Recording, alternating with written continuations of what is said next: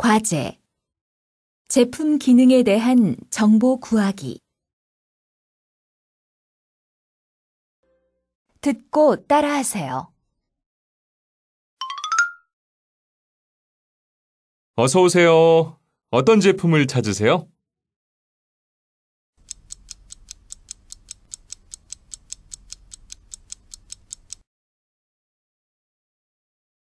저 전기밥솥 좀 보러 왔는데요.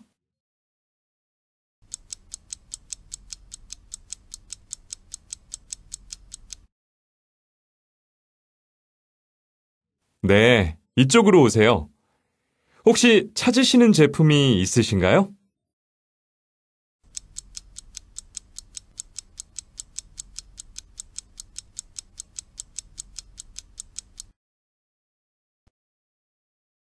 신혼부부가 쓸만한 제품을 찾고 있어요.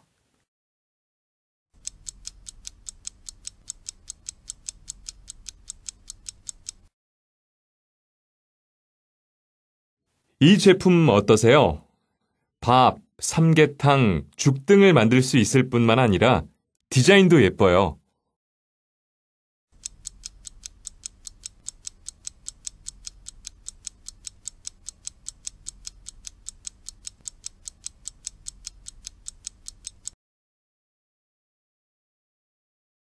혹시 절전 기능은 있나요? 신혼부부라서 보온을 오래 할 것 같아서요.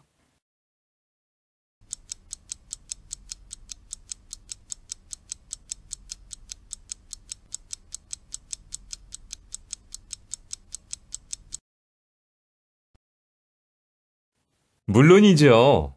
이 버튼만 누르시면 됩니다. 그리고 사이즈도 신혼부부가 쓰기에 적당합니다.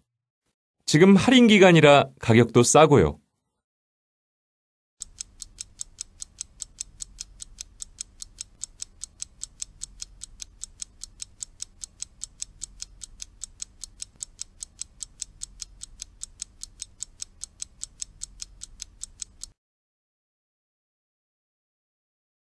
사용 방법도 간단하고 가격도 좋네요. 이걸로 살게요.